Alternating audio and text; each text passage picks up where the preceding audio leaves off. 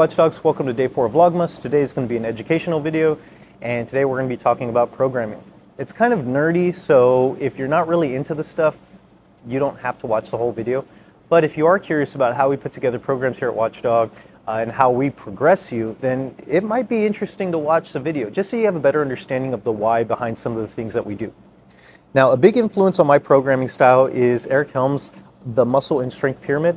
This is a great book, a lot of solid information in there as far as recommendations on how to program, whether it be for strength or hypertrophy. Now, hypertrophy is growing bigger muscles.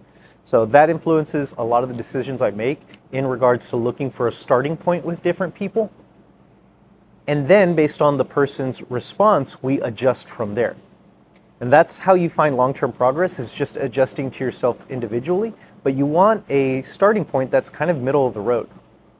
So we're going to go over a few things today. First, we're going to talk about what is an effective set, how many effective sets you would want to train in a week, and how many effective sets you would want to train in a session.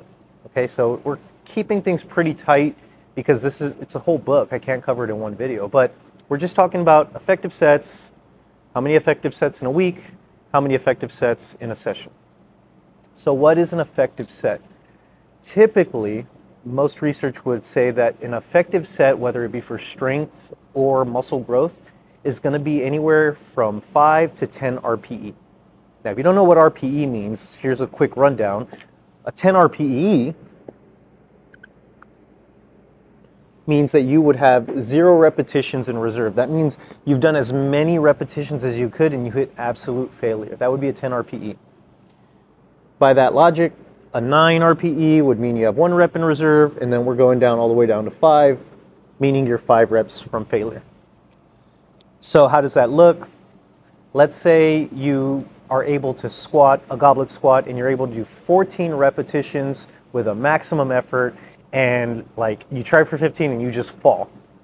That would be 14 at 10, 14 at maximum effort. Five away from that would be nine. So at nine repetitions, you're still in that effective area, right? Because you're five repetitions away from failure. If you do nine repetitions, 14 is your max, the difference is five, five RP. If you did 13 repetitions, you had one left, that's an RP nine. So that's how we define an effective set. It's important to understand this definition because when we're putting together a program, we want the effective sets to count. And that's kind of a running joke here at Watchdog, right? You're doing your warm ups, you're doing your feeders, you're getting yourself ready, you're practicing and stuff. And you're like, okay, do I write down all that stuff? No, you don't, because none of that counted.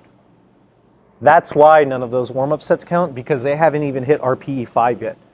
They're good for you. You're practicing, you're warming up, and you can probably get some health benefits, and they're probably good for your tissues. And maybe there's some sort of response you're getting, you know, depending. But generally, if it's below an RPE 5, you're not really going to see any progress out of that. So that's why when you're doing your warm-ups, I always say those don't count. You're only counting the effective sets when we get to the actual work. So now that we understand that, next we're going to talk about effective sets in a week. Typically, we're looking at anywhere from, let's get this out of here.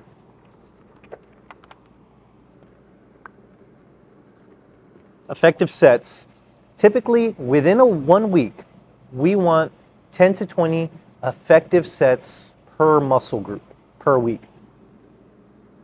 10 to 20 effective sets per week per muscle group. All muscle groups are not built the same. Some muscle groups for one person, like let's say biceps for instance, you may have someone where they can get 12 effective sets on their biceps in a week and their biceps are just going to grow and grow and grow. But if you try that to give that same person 16 sets, more is better, right? Maybe not. Maybe 16 st- sets starts making that person's elbows hurt, their connective tissues start getting all messed up, or maybe they don't even grow at 16 sets because they're doing so much work that they're overtraining their biceps and now the biceps can't grow.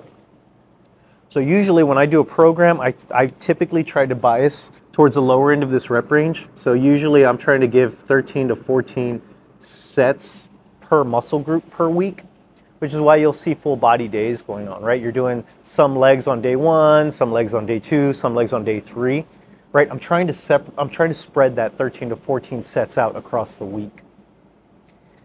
Now these sets don't have to be like one exercise per muscle group. Some exercises hit multiple muscle groups at the same time. So when you squat, you're working your quads, but you're also working on your glutes. So squats, if you do four sets in a session, well, that was four sets on your quads, four sets on your glutes. Let's say you're bench pressing. Well, that's going to be four sets on your chest, four sets on your front delts, four sets on your uh, on your triceps, right? So you can hit multiple muscle groups with one exercise depending on the exercise. That's always important to keep in mind when you're doing up a program and you're writing something up because if I've already given someone bench press three times in a week, right? So maybe they're on day one, day two, and day three. And on day one, they have four sets of four sets of bench on day one. Maybe on day two, they have four sets of dumbbell bench. Okay. And then on day three, maybe they have, I don't know, incline dumbbell bench.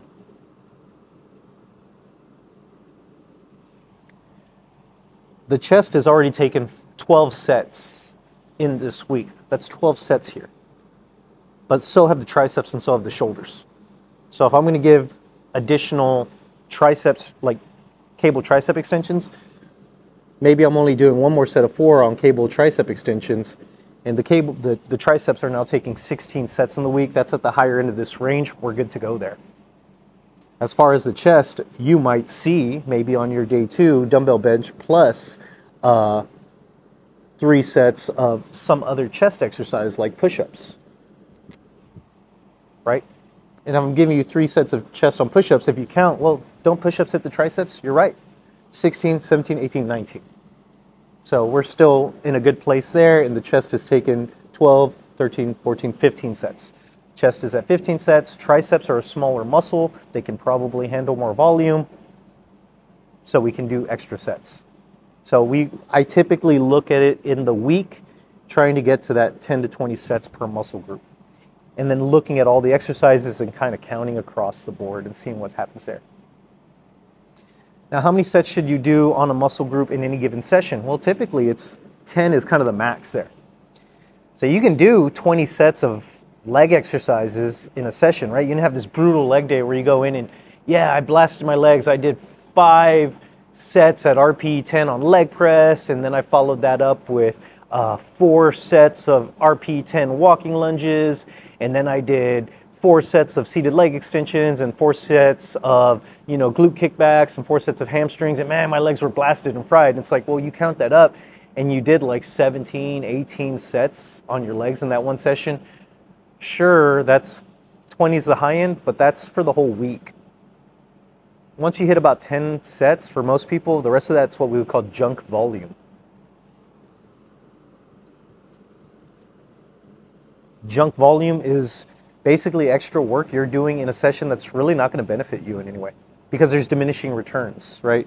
You you start off every set you do, you're getting a benefit, getting a benefit, but then once you get to a certain point, the benefit starts to drop off because now you're just overtraining. You don't have enough recovery to do more. So if you see someone like doing 15 different chest exercises because it's chest day, yeah, they feel great. They got a huge pump, but chances are their chest isn't growing any. So usually it's about 10 sets is the max we want to do in any given session. So that's where we're at with that. We typically do 10 to 20 set effective sets per muscle group per week trying not to do more than 10 sets in a singular session. We do count all the muscles involved in an exercise because there can be crossover.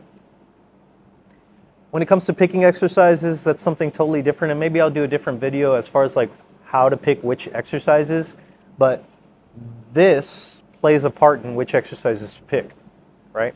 Um, so yeah, maybe we'll go into that later on.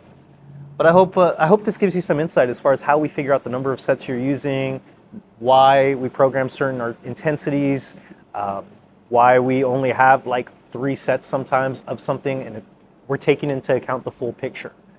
Additionally, if you're only training two days a week, that's why sometimes you'll have more supersets in two days a week because I'm trying to fit more of this volume, get, get you closer in two days. So you might have more supersets if you're only training two days a week. And you got to be okay with maybe you're only getting, you know, 10 to 13 effective sets in the week because you're only training twice. You're training three times a week. Okay, well, now you're going to get more, right? You're going to have more exposure so we can fit more sets in across the week. So more isn't always better. Better is better as long as it's within the framework that we're working in. Hope you enjoyed the video. Bye.